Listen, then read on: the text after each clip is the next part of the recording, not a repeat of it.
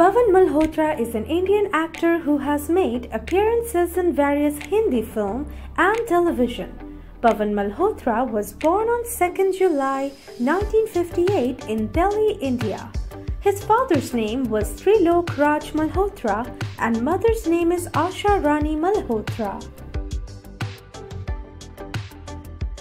He is married to Aparna Malhotra.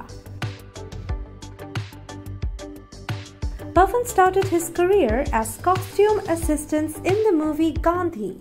He was a production assistant in Bhi Do Yaro. Mohan Joshi Hazir Ho. After moving to Mumbai, he started working as an assistant for the show Ye Jo Hai Zindagi in 1984.